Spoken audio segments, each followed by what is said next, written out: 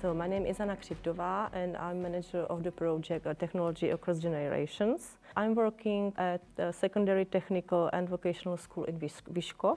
We are focusing on education in uh, technical fields and craft. Our mm, main field of study is construction uh, fields of study and uh, uh, engineering and also we are offering education in agriculture.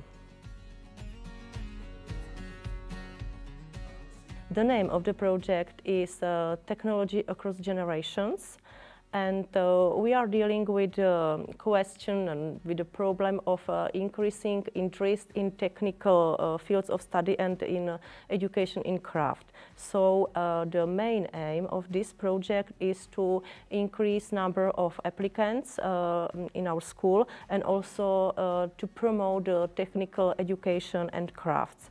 Uh, we are doing three main activities in this project. The first one is a wide range of uh, school marketing activities, starting with uh, the new web pages, working with social networks, uh, Facebook and uh, Instagram and so on. The second uh, very important activity is that we are preparing programs for pupils from, from regional schools and this programs is um, about technical education. We would like to present uh, our uh, field of study in an entertainment manner or in an entertainment way